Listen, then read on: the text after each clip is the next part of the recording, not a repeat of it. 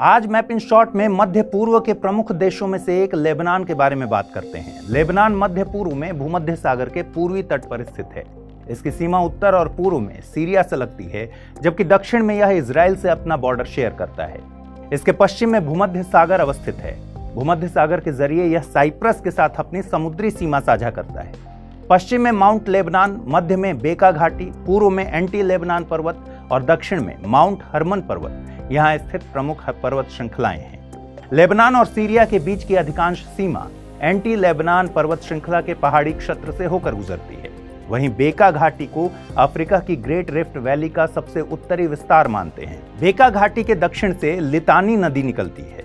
यह लेबनान की सबसे लंबी नदी है। इसकी लंबाई करीब 140 किलोमीटर है। यह नदी टायरे के उत्तर में भूमध्य सागर में गिर जाती है।